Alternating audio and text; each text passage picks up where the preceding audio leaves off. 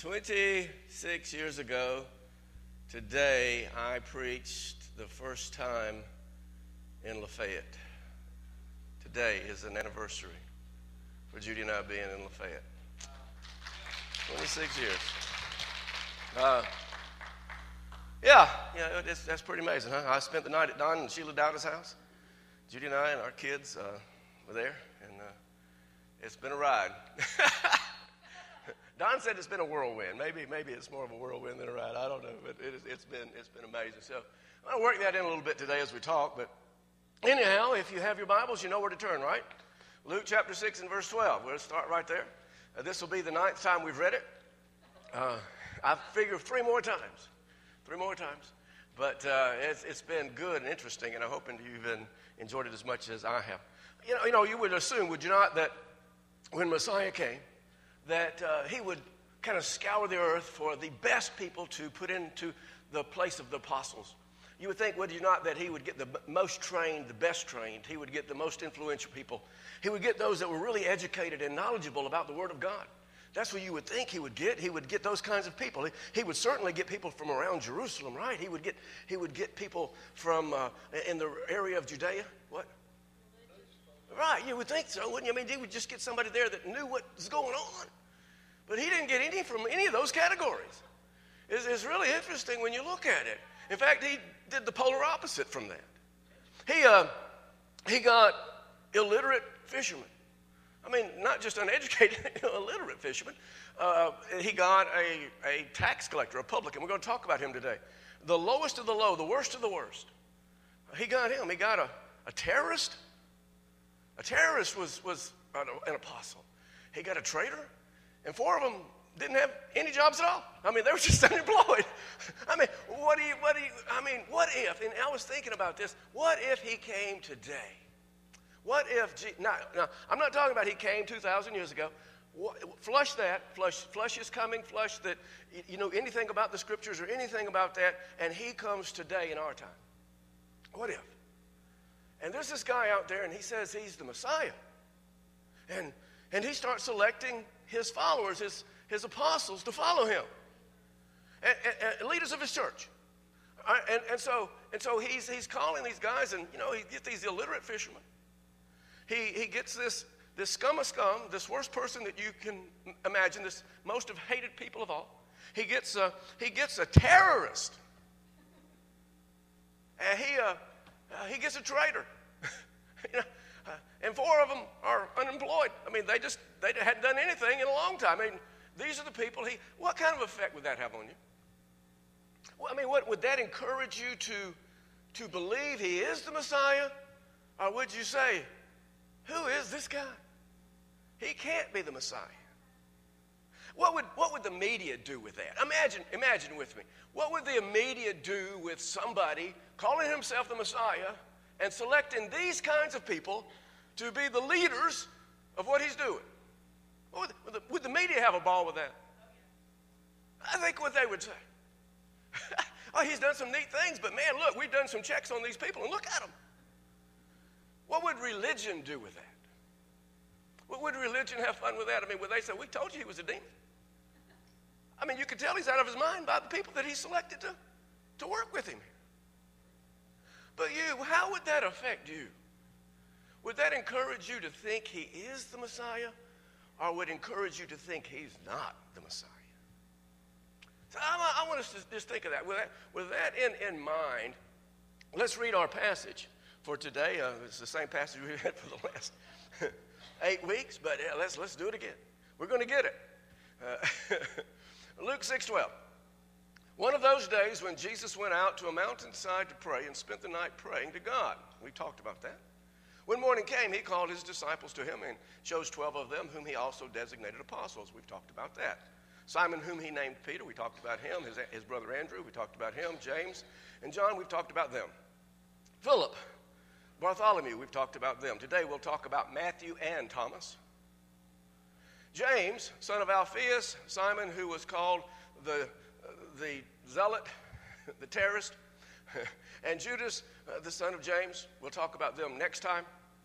And Judas Iscariot, we'll get him one day down the road, who became a traitor. So I was thinking, you know, about this. This is an elite group of guys. You would not have selected them. I, I wouldn't have selected them. But these are an elite group of guys. And I was, I was pondering that. You know, 27 years ago, 26 years ago, began pastoring here. And it was like eight years before that, I taught the scriptures and preached here and there. Not one time in all of those years in all of those times that I've preached have I ever preached about the apostles. I mean, on a focused study of them. Not one time. Flipping that around, this is probably the first time that most, if not all of you, have ever had a lengthy study of the, just uh, focused on the apostles. Now, this is sad. And this is sad for the reason that, that these are important people. See, see with, without these guys, there would be no church. They're the ones that literally made sure the church got started. Jesus built it, but it was built upon them. They're the ones that are responsible for us having scriptures. Jesus didn't write not one book in the scriptures. The apostles and the prophets wrote those. And so we have that. But beyond that, it's because of them that salvation is offered to me. And salvation has been offered to you and to our children. It's because of them. So these are very, very important people. And we, you know, we're just going to take some, we're taking time and looking at them. So today we're going to talk about Matthew and we're going to talk about Thomas. We've already talked somewhat about Matthew and his conversion back in Matthew chapter 5 a couple of years ago. when, when we were there. but, but I'm just going to hit kind of the high points with it. Now, Matthew is a common name, don't you think? I mean, some of you are named Matthew. Uh, some of you, some of you have relatives named Matthew. Uh, it's, a, it's a common name, but it goes back to this person, this Matthew the apostle. This is where the name goes back. But Matthew was also called Levi in the scriptures. He was a tax collector. And uh, when he was called by Jesus, he was a tax collector, and the, New, in the King James Version says publican. And when you read about publicans in the scriptures, they're always publicans and sinners. They're always connected there. And the reason is, is they're actually worse. They're, they're before the publicans, which gives them superiority. They're better sinners than were the sinners. Publicans and sinners. They were the lowest of the low, the scum of the scum. They were, they were the bottom of the barrel in society. Uh, maybe to get our heads wrapped around it a little bit, think of, in our society, think of a molester, think of a rapist, somebody who takes advantage of weaker people. Think of a, a man who abuses his wife, abuses his children. Think of, think of uh, somebody like that, and then put the publican, the tax collector of that day, under it. Now, we don't like tax collectors, but we, they hated them. They were at the bottom of the barrel. They were the worst of the worst. And they weren't only hated by Jews, they were hated by everybody. You would have hated them. And the reason you would have hated them is because they were dishonest people and they were mean people. They worked in a, a mafia atmosphere. They were considered traitors, traitors to the Jews, but traitors also to their own family. Here's why: is they would take money from their own nation, people of their own nation, and from their own family, and give it to Rome who was coming to rule over them, to occupy their land, and to rule them. And they were considered traitors. They hated them because they did that. These tax collectors did that. Religion hated them. Religion wouldn't let them come to the temple and sacrifice. Even if they were a Jew, they could not come and sacrifice because, because the religion says they were doomed for hell. They couldn't go to church, which the synagogue, which is the Old Testament version of the church today. They couldn't go. They couldn't worship God. They were, they were cast outs, castaways. They could not participate in the legal system of the Jews. They couldn't even go and witness for somebody or against somebody. They couldn't bring litigations because they were, they were just no good. They were doomed for hell. They were rejected. They were, they were the bottom of the bottom. They were the worst of the worst. Hear me. They were the most hated people in town. Matthew was the most hated man in Capernaum when Jesus called him. Scum of scum, worst of worst, most hated, but yet Jesus calls him. When I, when I taught this lesson back then, I titled it, How Low Will Jesus Go? How low will he go? I don't know, how low are you? How low were you when he come and got you? That's how low he'll go. There, there's no limit to how low he will go for a soul. Let me introduce you here to Matthew in Matthew chapter 9 and verse 9. Now, notice this is the book of Matthew, a Gospel of St. Matthew, and we're reading about Matthew. Okay? Matthew 9 9 says this As Jesus went on from there, he saw a man named Matthew. Now, I want you to see, Matthew is writing about himself. This is his experience, and he calls himself Matthew. This is his conversion, this is his calling. He, he saw a man named Matthew sitting at the tax collector's booth. Follow me, he, Jesus, told him. And Matthew got up and followed him. Now, Luke is writing about the same experience of the same person, but notice how what he calls him. After this, Jesus went out and saw a tax collector by the name of Levi. So is he Levi or is he Matthew? Yeah? he, he is. He's both. And I want to talk about that in just a second, just pointing this out. Named Levi. Now, what's interesting is, leave that up, because here in, in Luke 5, he calls him Levi, but in Luke 6, where he's naming the apostles, he calls him Matthew. So who is it? Levi sitting at his tax booth. Follow me, Jesus said to him. And Levi got up and left what? Left what? Left. Can, can everybody read out there? Left what?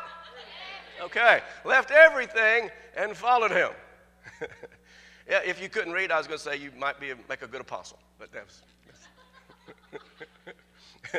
left everything and followed him. Now, what I'm wanting, to see here is that this is the same guy having the same experience, but here one guy calls him Levi, another guy calls him Matthew. And I think it's that Simon Peter deal. You know, it's this Simon who went through the conversion and became Rock Peter. Simon Peter. Um, Nathaniel Bartholomew.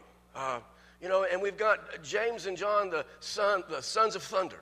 And, and there, there's this transformation that, that happens when Jesus calls you. Levi becomes Matthew. Levi was the, was the tax collector. Levi was the extortionist. Levi was the person who would break your leg if you didn't pay taxes. Levi is this, is this guy who, who, wasn't, who wasn't doing what we would think would be good. He was the most hated person in town. Matthew is who he became, who became the author of the book of Matthew. Matthew is this person who became the man of God, the apostle of the Lord Jesus Christ.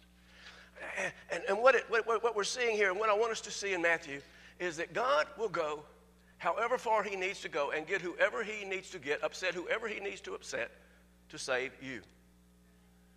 He will, he will go to the most hated person and save them, call them, and use them.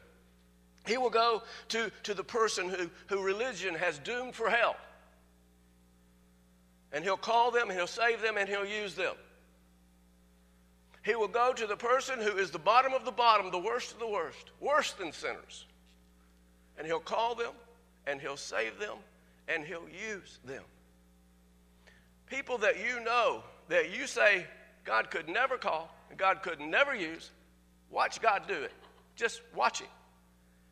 People that religion condemn, people that religion are saying going to hell, Watch God work. Watch Him do it. He'll call them, He'll save them, and He'll use them 2,000 years later. Just like He's using Matthew today. now, what's interesting here is that Jesus expected Matthew to leave how much? Leave everything. He expected him to do that.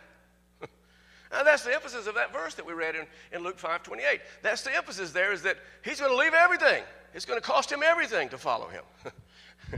but he became uh, uh, an apostle. He's probably the only one who had any financial means of all of them. He's the only one that had any financial resources.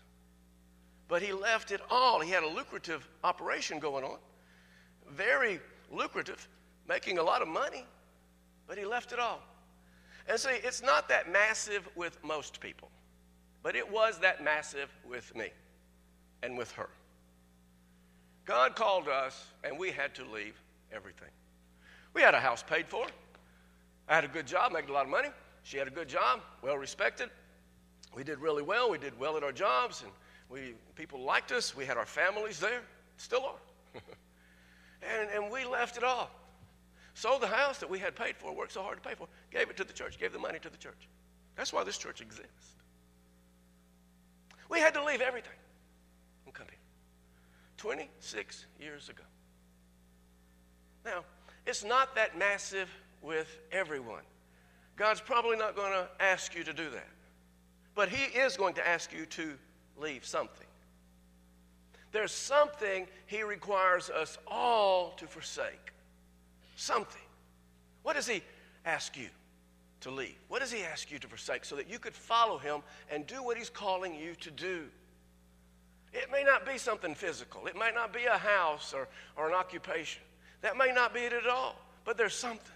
It can be a habit, a, uh, an addiction. It, it, it can be a relationship. But there's something that He is asking you specifically to leave so that you can do what He's asking you to do, so that you can do something that's going to influence the kingdom of God, not just you and yours, but years and years down the road. What is it? Maybe He's dealing with you about something right now. Well, let this be a confirmation to you. God's calling you, God's choosing you, and He wants to use you. But to use you the way He wants to use you and bless you the way He wants to bless you, you've got to leave it. You've got to leave something and do whatever He's dealing with you in your heart. So, what is it? What does He ask you to leave? What have you left? What is He dealing with you right now to leave? Uh, verse, uh, chapter 5 and verse 29 of Luke says this. Then Levi, after his conversion, after he followed Jesus, the next verse says this about him. Then Levi held a great banquet. That's a party, a great feast. Why? What, what does it say? For. Why, why did he do this? You need to say this. Then Levi held a banquet for Jesus. Do you see what this banquet's for? He's just not having a party. I think he is a partying publican, but, but, he's, a, but, he's, but he's having this, this big thing that's for Jesus. And I don't think it was his birthday party. you know, I don't think it's like Jesus' birthday, so we're going to give him a party. His, there's something that he's doing that we learned about Matthew here. A party for Jesus at his house. And a large crowd came. Now you got to think about it. In those days, houses were 400 to 600 square feet. That's all they were, one or two rooms. But he had a great crowd in his house. His house was a lot larger than that. He had a big house. So he, he's giving into the house. He's, he's working in it with his house. He's in a large crowd of, of tax collectors and others. and, and, Matthew, when, when Matthew wrote that, he wrote sinners instead of others, but Luke writes tax collectors and others eating with them. So, another thing that we see about this Matthew Levi guy, this apostle, is he used the influence that he had to get others around Jesus. Others. You know any others? How many others do you know? You know some others? You know some sinners? we, we all do. But what are you doing with your resources to get them around Jesus? What are you doing? What he did is he took his means, the, the, the means that he had, the, the finances that he had, the resources that he had, and he began to, to utilize that to bring others to Jesus his friends, the sinners, the people. Let's get them around Jesus. Uh, when I taught this to you back then, I talked about a couple of times that I did that. Uh, and I've never done it without there being some reward from it, some, some great benefit from it for the person to whom I was doing this for with. I told you about a time when I was working uh, at my occupation at that time, and I came out into the parking lot, and there was a man with a broken down car, and his starter had gone out, and that I had gone and, and tried to help him. And initially, we had to, to get him a new starter, and he didn't have any money, but I bought the starter for him and waited until he got his car running. And then when he finally got it done, he looked at me and he says, Dale, he said, he said, Are you going to church Sunday? And I said, Yeah. He said, Can I go with you? I said, Well, sure. And that week, Billy walked the aisle. He came and he received Jesus Christ as his Lord and his Savior. That very week. Had I not done that, Billy would have missed Jesus. What have you done? I talked to, to you about buying books for people and giving books for people, or CDs or DVDs. You know, just uh, giving them money, taking them out for a lunch or something, just taking finances and resources that God's blessed me with and funneling them into others to bring them around Jesus. What have you done in your home? Have you invited people to your homes? What have you done to get people around Jesus? God wants us to do that. And, and, and, and Matthew was good at this. Matthew was good at this. And, and I want to make one more point here. about, about Matthew Levi before I leave him and start talking about Thomas.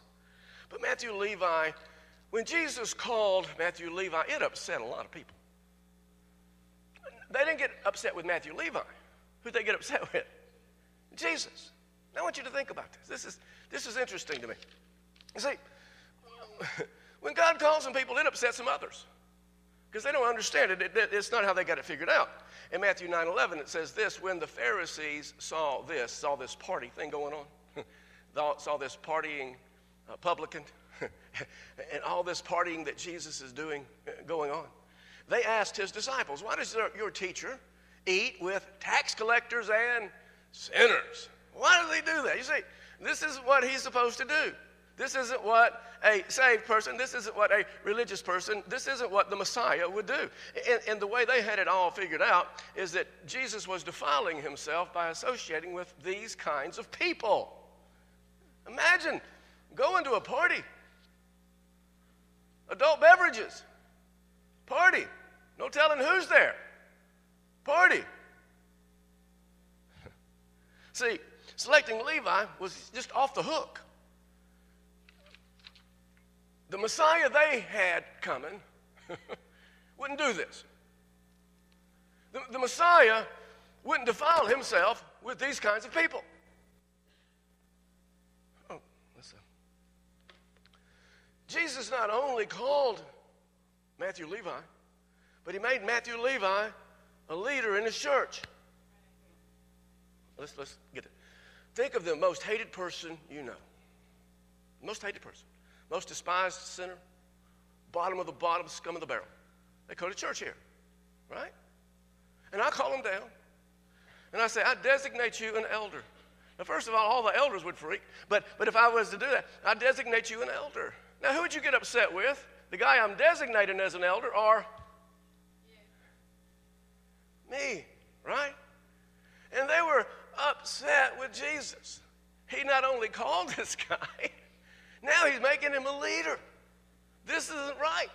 And you can imagine what his apostles, the other guys, were thinking about this at the same time. But you know what? Jesus didn't care. He didn't care who he made mad, he didn't care who he set up. He's after Matthew Levi. Listen, he doesn't care who he upsets about getting you or calling you or choosing you. He's after you. He's after your kids. He doesn't care who doesn't like it. He's going to use you. So Jesus hears about this, you know. Jesus, Jesus hears about this.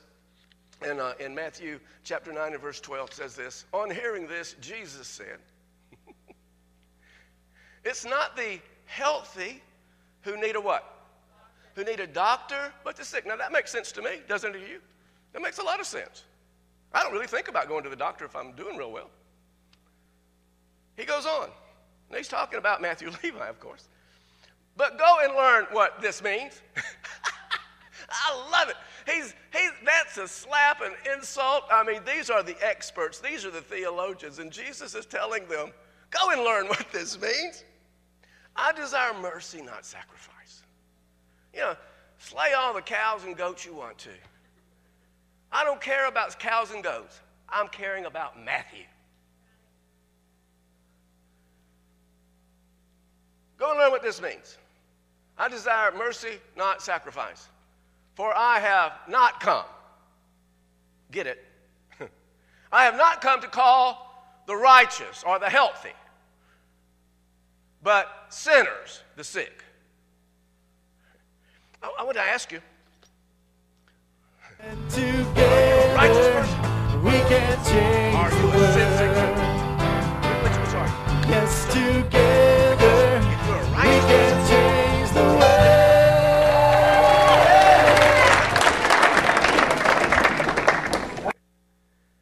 Righteous meaning you think you're good enough. Righteous meaning that you got it together. You don't need Jesus. You're okay. You don't need church. You don't need praise. You don't need to give. You don't need to worship the Lord. You don't need to minister to people. You're okay. Sin sick means you realize you got some problems. And you, Jesus, came for. and you, Jesus, can help. Um, you know, uh, so many people in church think they're good enough. We call those people hypocrites. We know they're sin sick, but they think they're okay. Uh, Here's what Jesus is saying Jesus is saying that he and church are not for people who believe they are good enough or righteous enough, it's for people who know they are not. Here's what it is. Here's what it's about. It's for people who know they are not. Church is for the sin sick sinner. Church is not for the club for the righteous. Church is for the sin sick. And when we pass by a church, we pass by this church. We pass by a church, we should point at it and say, there's a bunch of sinners. right? I mean, if it's not, it's not a church. And you, you hear this, and sometimes we think that there's a lot of sinners in that church. Well, hallelujah! That's where I want to go. Right? I mean, we get it so religiously backwards. Lord, give me the sinners, because that's where I know you're going to be. and he doesn't care who he makes mad doing that. Make all the religious people mad about the sinners in the church. That's okay, because he doesn't care about them. He didn't come for them, he came for Matthew. He came for me. I'm a sin sick person. And he came for most of you. I hope all of you. You understand what I'm attempting to say there. Okay. Now, about 30 years after the ascension of Christ, uh, Matthew wrote his gospel. The gospel according to Matthew. It's the very first book you run into in the New Testament. You finish up Malachi, the Old Testament, and the first book you head on to, into is Matthew. This is Matthew's gospel. This is this man that we're talking about here. And what's so neat about Matthew's gospel is that it's here, I'm going to say it, then I'll explain it. It's the most scripturally based gospel that we have. See, there's four Gospels Matthew, Mark, Luke, and John. Three of those are called synoptic, and they're, they're very similar. John is, is different, but, but they're all scriptural. But Matthew's uniqueness is that 99 times in his writings, he relates back to the Old Testament. He quotes or refers back to scriptures in the Old Testament because the Old Testament talked about Jesus coming. Here's what the Messiah is going to be, here's what the Messiah is going to do. And so, what Matthew does 99 times in his gospel is proves that Jesus is the Christ, he is the Messiah. Jesus took this scum of the earth, this worse than sinner person, this extortionist, this most hated man in all the city. He took him, he called him, he drew him, he used him, he transformed him into Matthew the apostle, Matthew who wrote the gospel of Jesus Christ. Matthew's gospel, still touching lives, yours and mine, even today. That's what God wants to do with every one of us. He wants to take us as low as we are.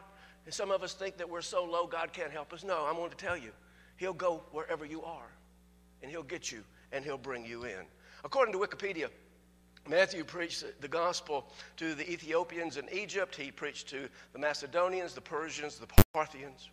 And then he died as a martyr. martyr. He died in uh, uh, Nadabar and in Ethiopia, and I think I'm saying this correctly. With used, what was used to kill him was a halberd. Halberd. What, what, uh, if I understand this correctly, a halberd is a tool, and it has a pick on one end and an axe head on the other. It has the axe on one side and a pick on the other. And there was Matthew faced with this halberd being hacked up, hands hacked off, legs, feet hacked off. They said, You will recant him or you will be hacked up. You will be picked. You will be stuck with this thing. There's Matthew. He won't recant, he won't refuse his belief in Jesus Christ. And they let him hack him to death. But he would not deny Jesus Christ. He would not stop preaching. What would you do? What would you do? You're faced with this. You probably never will be. But if you were, what would you do? Let's talk a little bit about Thomas. Thomas. when you say Thomas, what is the first word or thought that kind of comes into your head? Anybody? Doubt. Oh, whoa. We say doubting Thomas. Well, this is the guy who started it. This is the guy, when people call you a doubting Thomas, you blame him. This is him. This is the guy. this is the thought that comes from him. And, uh, and we see something else. So Jesus will take a person so full of doubt, so full of unbelief, and take that person and use that person to put them in the most unique group of people to change the world. You have any doubt in you? You ever struggle with doubt? then you're going to like Thomas. Thomas was a negative person. You know any of those? See, uh, negative people are downers to me. I mean, I don't like to be around negative people. Yeah, I'm, some of you don't either, even though you are. you don't like to be around them, even though you're like that. I, I read something or I heard this that a negative person finds the manure in every meadow. You can be in the most serene place, the most beautiful place, flowers and birds, and you can be in the most serene place in the whole world, but the, but the Thomas is, the negative person, is going to find the pile of manure, the flies, the stink. No matter how good it is, they are the epitome of pessimists. They, they, they, they produce, they proclaim Murphy's Law. Whatever can go wrong, will go wrong. That's their life rule. They're going to find it. They're cynics, they're pessimists. They anticipate and they expect bad things to happen. And some of you are like that. You might not be that way all the time, but I don't care what meadow you're going to walk in, you're going to step in the manure. You just have a way of finding. Let's meet. Let's meet this guy. John 11, 16. Uh, then said Thomas, which is called Didymus. He's got another name too. You know? Then said Thomas, which is called Didymus, unto his whom? Who did he say this to? Who? Am I putting you to sleep? Come on, wake up. Okay. to his fellow disciples. I'm sorry, I'm sorry, I didn't need to do that. to his fellow disciples, to his buddies, to his friends, to his fellow friends. You know, this is who he's saying this to. To his fellow disciples. Let us also go that we may what? We're going to go, but we're going to die. now, this is what I'm talking about. This is, this is what I mean. I'm going to set this up for you. But the die with him here, that's Jesus. There, so let me, let, me, let me set this up for you, tell you what's happening. In John chapter uh, 10, just before this specific thing happens in John chapter 11, in, in John chapter 10, Jesus had come into the area of, of, uh, of uh, of Judea because he's there for the Passover. This coming Passover will be when he will be crucified, arrested, crucified, and he will die. So he's coming, he's come down into the area. And he has preached, he's preaching out there in the area of Judea, and he has upset the Pharisees. I mean, he has really ticked them off. They have picked up stones. They're going to kill him. They're going to arrest him. They're going to stone him. But it's not time yet. He has to wait for the right time. The Bible says it wasn't his time, so he escaped from them, went back across the Jordan over there where they would leave him alone until it was time. Now, while he's over there in Jordan, he has these good friends, Lazarus and Mary and Martha, Martha, and they live in Bethany, two miles, three miles maybe, southeast of, of Jerusalem.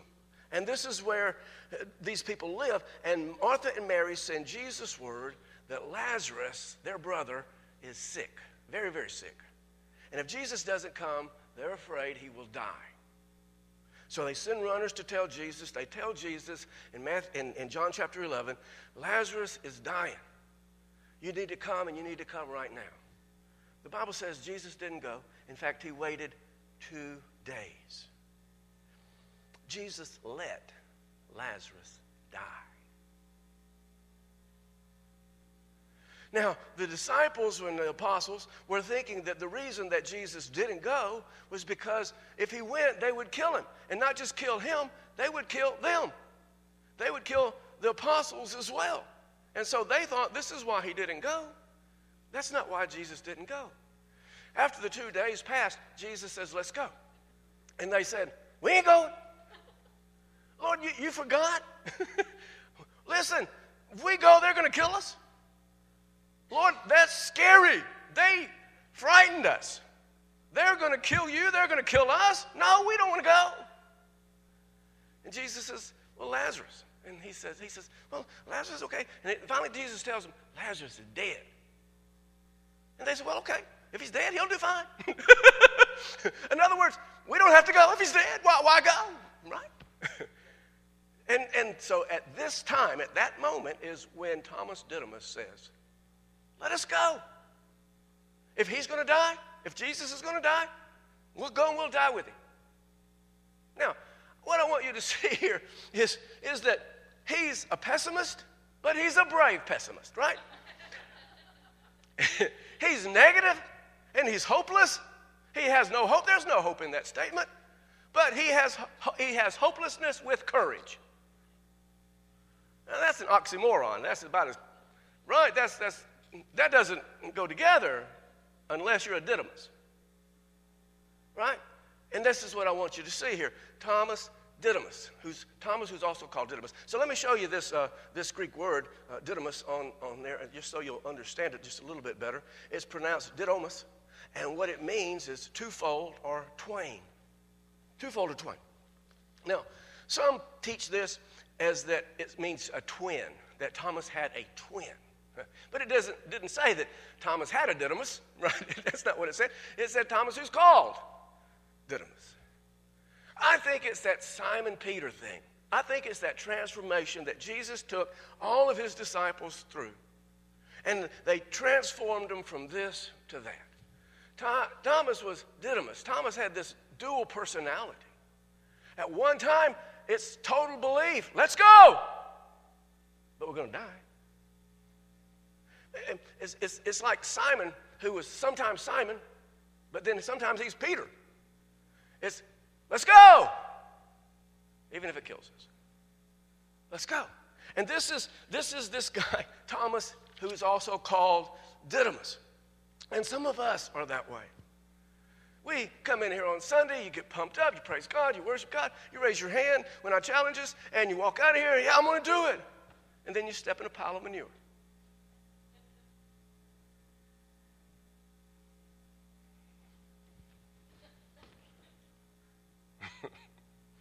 We go fired up until Monday. We, we, we, we get so pumped. We get so, we get so into it. We're going to be men and women believing God can do anything. But there's just so much manure. We, we should be finding the faith and belief, but instead we start focusing on the manure. We want to go, we want to do it even if it kills us. See, it's easy to believe when you're an optimist.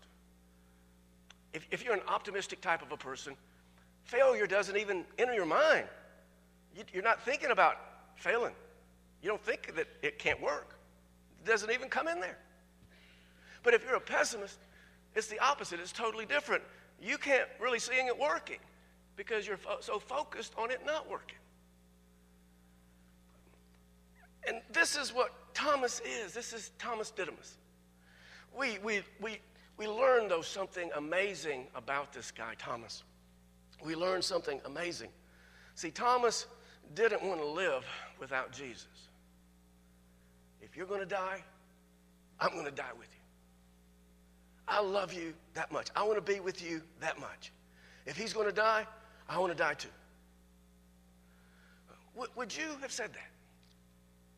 Is that what you would do? You knew they're going to kill you.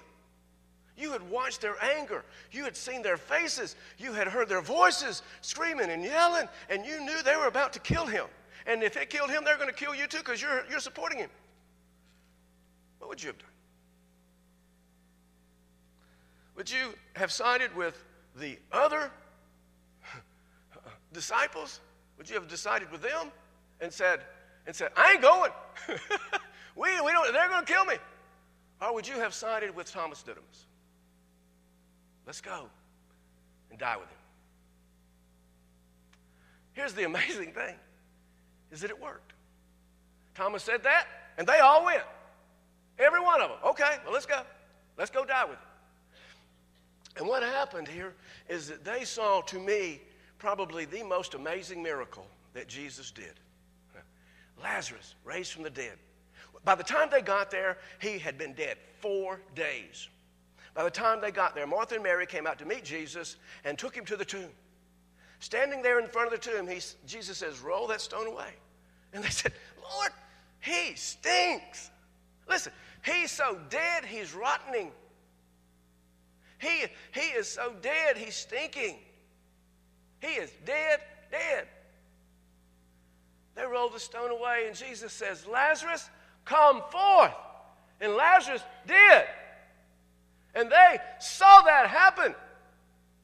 They saw this dead, dead person come out, and he said, Unwrap him.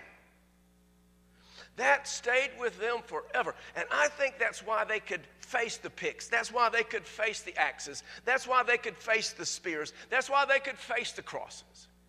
Because they knew Jesus God. They knew. You just don't tell somebody that's stinking dead to come forth and he do it.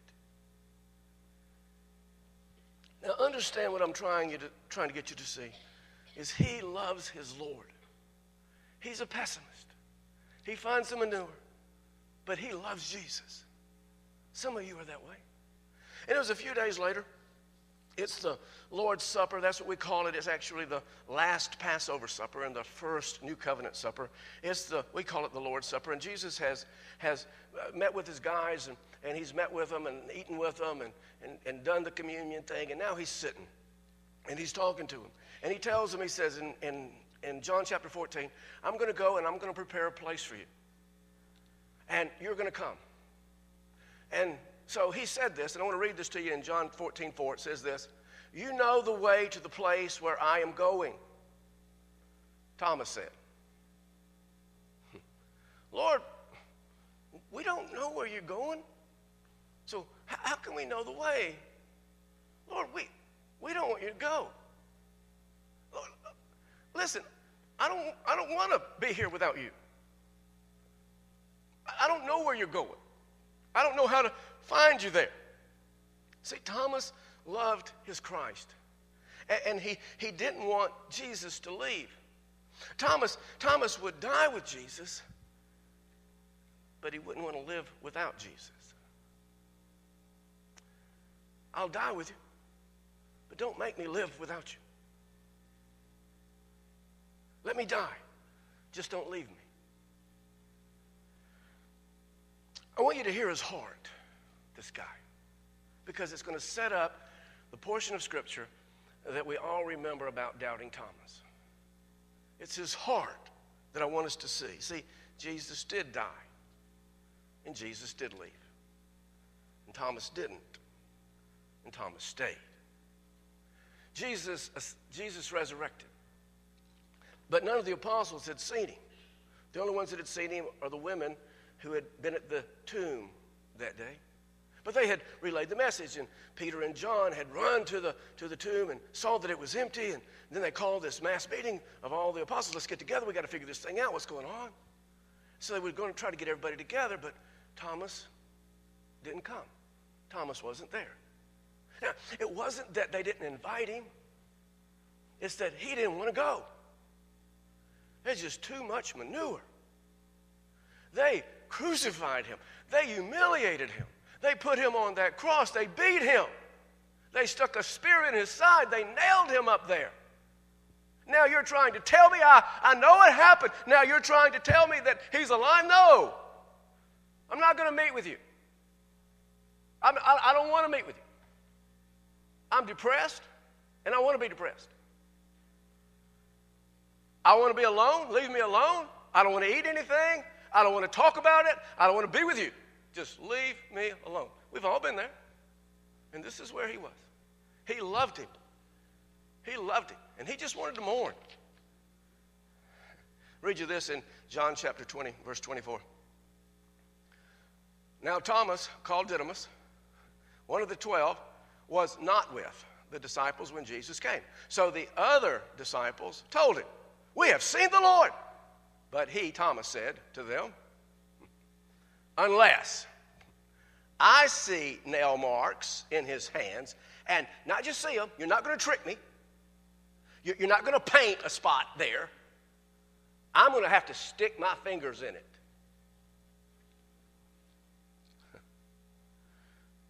Unless I put my finger where the nails were and put my hand into his side, you're not going to trick me. Put my hand into his side, I will not believe it.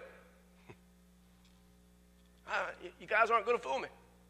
I don't believe you. I, it, this, is, this is bad. This is the worst of the worst. This is the worst of the manure. A week later, John chapter 26 says this. A week later, his disciples were in the house again, and Thomas was there. Now, watch this is interesting. And though the doors were locked, Jesus came and stood among them and said, Calm down, calm, calm down. it's me. Listen, if I'm in a house and the doors are locked and somebody walks through the walls, it better be Jesus. and he better tell me really fast, okay, it's, calm down, it's me, it's me, it's me. I want you to see what's happening here. He, he, he- he comes in this room, he freaks them all out, and then he says, tells them to calm down, and he walks straight to Thomas. He walks straight over to Thomas. He says, Here, Thomas. Here. Here's the holes. Put your fingers in. Go ahead. Put your fingers in. Here, Thomas. Go ahead. Stick your hand in there. I want you to know it's me.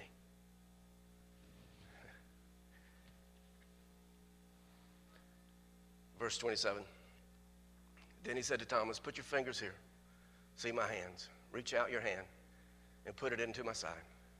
And just don't look at it, Thomas. I want you to know it's me, man. Stop doubting. Stop seeing the manure, man. Find the meadow. Stop doubting and believe. What's interesting to me is that Jesus didn't rebuke Thomas. Now, he rebuked Philip. Remember, Philip, why don't you believe? He got all over Philip. He just went off on Philip. Oh, you've seen all this, Philip? Well, Thomas saw it all too. But he just nailed Philip. But to Thomas, he's like so tender. Put your hands in it. Go ahead. Stick your hands in it. Stop down and believe, man. He was so tender with him. Just, Philip, I, I know, I mean, Thomas, I know you're wired this way. You're Didymus. I know this is how you're wired, but man, if you're going to do what I've called you to do, and you're going to be what I've called you to be, you got to stop seeing the bad in everybody, and you got to start seeing the good. You got to stop seeing the publican, and you got to start seeing Matthew. You got to stop seeing the sinner, and you got to see the saved. You gotta, you gotta do what. I, if you're going to, if you're going to really have a great life, you gotta stop being negative, and you gotta start being positive. Thomas was perhaps the only apostle who went outside the Roman Empire and preached the gospel of Jesus Christ. Uh, he, uh, it's thought that he crossed the largest area of all of them. He traveled the furthest of all of them. He went to, to what is called the Parthian Empire, which is Iraq and Iran today. And he went to India. And today in India, there is a Bar Thomas church. Bar Thomas, Sons of Thomas. Bar Thomas Church. And they say they go all the way back to Thomas. That it was Thomas who actually started that church in India. He died again as a martyr. He was speared to death. See, there was no doubt in Thomas then. Thomas believed. What's interesting is, is that Thomas did find the way to where Jesus was and to the place that Jesus had prepared for him. What is that place, Pastor? Well, let's, let me show you the scripture because I think it's, it's so interesting. Luke 22, 29 says this Jesus says, I confer on you a kingdom, just as my Father conferred one on me, so that you may eat and drink at my table in my kingdom. That's a pretty good place. And sit on thrones. Thomas has his throne. It's a pretty good place, judging the 12 tribes of Israel. See, the amazing things that we're seeing today about a reprobate tax collector and a pessimist doubter. We're, we're, we're, we're seeing that God can, can reach so far and draw so many and change so much. And every single one of us, we relate to these people. Jesus took these sub-common elite people and he transformed them into people who have changed our lives, who are responsible for our salvation, or at least for it being offered to us. Let's pray. Father, we love you. We thank you for all you do for us. We thank you for these amazing people that we're learning about who have done your will and your work and actually gave, gave their lives for it. Matthew, who left everything, even his own life, for you. And Thomas, who believed so much that he went the furthest, taught the most, went to the furthest places he could possibly go so he could tell people about Jesus. With your heads bowed and your eyes closed, how many of us relate to Thomas? Thomas Didymus. Sometimes we're so filled with faith, and then sometimes there's just so much manure. So we want to be men and women of God. We want to worship and praise. We want to be so bold in our faith, but yet sometimes we just say it's going to kill us.